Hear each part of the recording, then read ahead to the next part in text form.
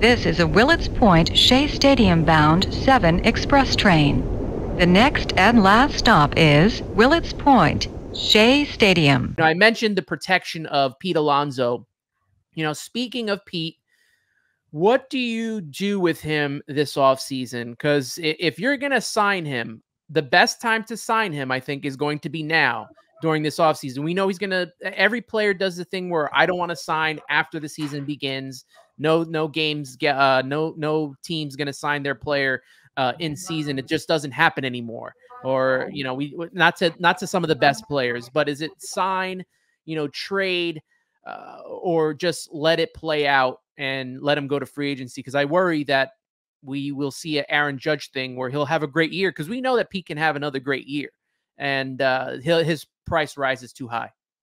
Yeah, I think we're at a point where because he has Boras now, I feel like it's going to end up being something that is played out same way Judge was, and I think you've reached this far. I, I don't think he's going to settle without trying to go out there and see what you can pull in from others in terms of offers.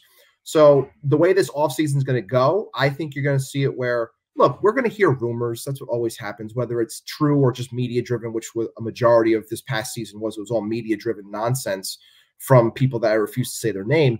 But you know, when it comes down to it, I think that He's going to play out the season. They'll take they'll take calls. Any any smart general manager or player baseball ops, they take uh, president baseball ops. They take phone calls. You listen to what someone's going to offer.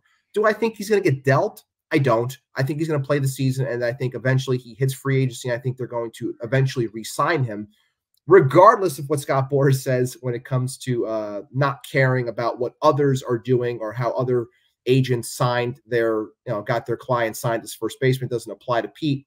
I'd, I'd pump the brakes on that because I do, I do think a first base market is established, uh, regardless of how many home runs Pete's hit. Uh, Pete hits. I still think that there is a limit as to what amount he's going to get, but I honestly feel that he's going to play out the season and then they'll attack it the same way they did with Nimmo and Diaz, and then they'll have conversation. There'll be some back and forth. I think ultimately going into the offseason next year, he's going to end up signing. But as for now, they might listen to some calls. Um, but I don't think he's going to. I don't think he's going to get dealt.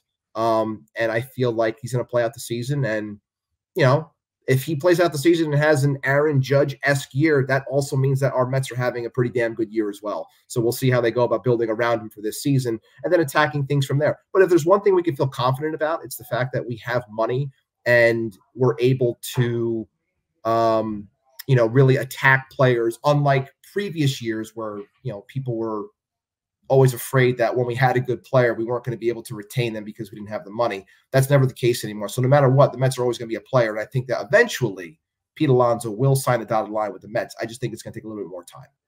Yeah, the uh, the Mets are always now going to be a player when, when it comes to everybody. So I'm not surprised when when they say, "Oh, the Mets are in on this guy." Oh, we know this. They got the money to do it.